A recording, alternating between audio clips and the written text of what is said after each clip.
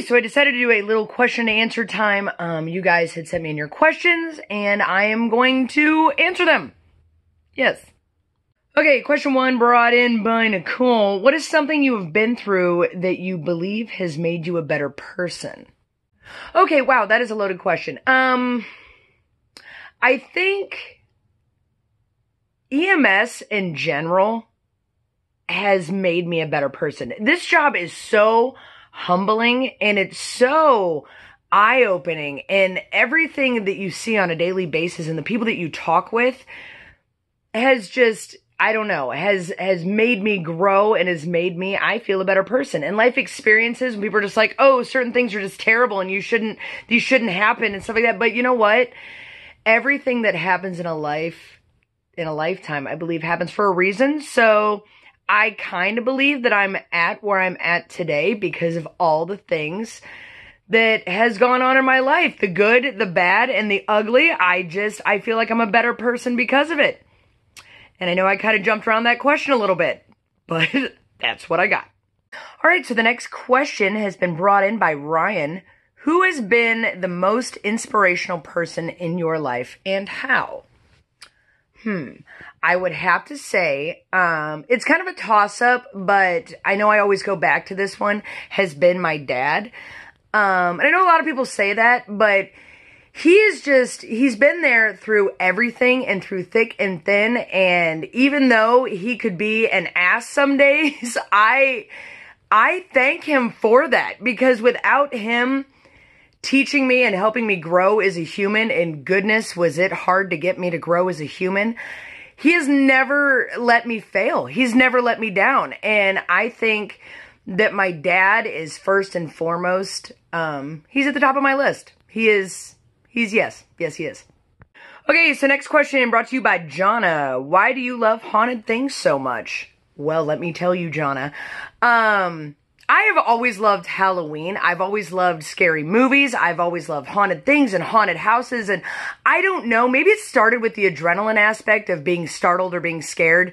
But yet, when it comes to fight or flight, I either fall over or run away very fast. But the point is, I love everything scary. And I don't 100% know why. I, I just, I love blood, guts, and gore. And, and I love just making pictures and I love making videos and I love doing everything that is haunted related. That is just my all-time favorite thing. And I don't know that I had a reason for any of that. It just was born that way. I was just born that way.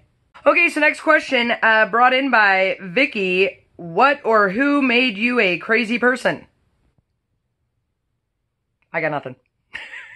Okay, next question. Uh, Justin asked, what made you go into EMS? What is something that you like but other people find disgusting, if there is any? Okay, so first off, what made me go into EMS is kind of a funny story. I started as a wheelchair driver at the ambulance company that I am with now. Um, I used to be a car washer I washed some cars detailed. Um, and then my sister one day was like, hey, hey, uh, this place is hiring wheelchair drivers. You don't need anything, you know, you just got to get your CPR card. And I'm like, dunsies. And they hired me and that's what happened. And then they had a grant that you could go to school to be an EMT. And you had to fill out this paperwork and write an essay. And I did. And I won the grant and I went to school to be an EMT. And that's where we are nine years later. Yes. And as for something that I like that other people might find disgusting, um, is probably masks. Um, like those creepy, scary masks that look like people's faces are being ripped off or something like that. I love those. I love, again, Halloween related. I, I love blood scenes and crime scenes and those are my favorite. And most people are like, that is disgusting and good for you on rock on. That's great. All right, next question from Renee. Do you wear underwear? Yes, I do. Do people not? That's awkward. Okay, moving on. Uh, next question from Rachel. Do you have a retirement plan in place and will it carry you through to old age? No.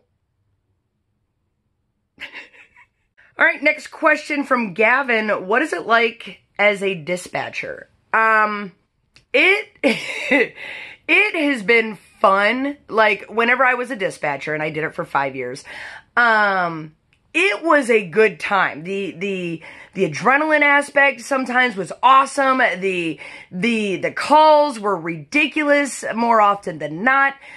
It had its perks, but I can tell you a lot that being locked in a dark room in front of a computer screen and it's just sitting in a chair all day for like 12 to 16 hours a day is exhausting and it's tiring and it's boring and it's monotonous and I am really glad most days that I'm in the field now because I can tell you that, I, you know what, I'll be cocky for a second. I was good at my job. I was. I just, I, I'm glad I moved on from that. And I'm glad I was pushed in the direction of moving on from that because being a dispatcher, I came home a lot angry. And I can tell you that nobody would have ever known while I was working because if you are smiling on the outside, you're smiling on the inside. And if you're smiling while you're answering the phone, people say that they can hear it over the phone. So that's what I did. And I got through five years of that. And I did enjoy it, but boy, did it have its ups and downs of just, there was sadness and anger and happiness and hilarity. And it was, it was all over the place. All right, next question uh, from Tiana. What song means the most to you? Um, Happiest Girl in the Whole USA by Donna Fargo. My grandma, my mom's mom, I, I spent a lot of time with growing up, and my parents both worked a lot of hours, and I spent a lot of time at my grandma's house, and she had this song on her jukebox, and everybody in the family knew it. And we even sang it at her funeral, and it was it was a beautiful moment and that song even though I don't know. It's it means a lot to me because it's wonderful memories and it just it makes me cry even now when I hear it even though I want to sing along and that song I love more than anything. Okay, so last question from Gordon. If you were a car part, what would it be and why? I mean, a camshaft sounds pretty cool.